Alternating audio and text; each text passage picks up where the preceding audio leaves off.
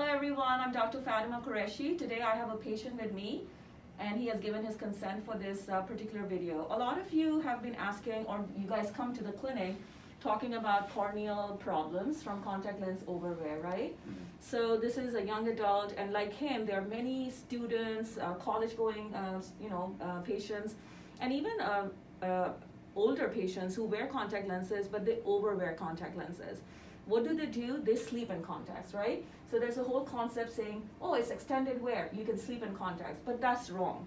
The FDA doesn't approve that, American Medical Association doesn't approve that, American Optometric Association does not approve that, and CDC, Center for Disease Control, does not re uh, recommend that at all. And as doctors, as physicians, we don't recommend. So, Josh, what happens when you sleep in contacts? What happens?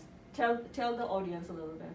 Um, what it, like what what it feels like. Yeah. Um, you wake up, have more or less like dry eye, um, and you also can't see that well. I feel like it's uh, that you can't uh, see as far as it, and it's not as sharp and clear. Correct. And then when he comes to us with a corneal abrasion, which is a scratch on the cornea, sometimes corneal ulcers also, then we have to treat them. Right, Josh? You've had those corneal abrasions, and because of the corneal abrasions, he has scars on his cornea now. So I'm going to quickly show you this model that we have here.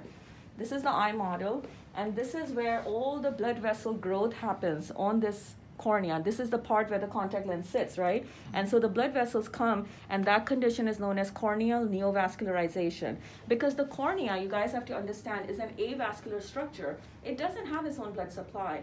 When you start sleeping in contact lens, that blood supply or the oxygen that it gets is depleted. When there's no oxygen, it's dying literally, right? So new blood vessels come and grow on the cornea. That is known as neovascularization, which means new blood vessel growth. That's a bad sign. But the good thing about uh, Joshua is that he started listening to me, right? Mm-hmm. And last time when he came, he said, yes, I will listen to you.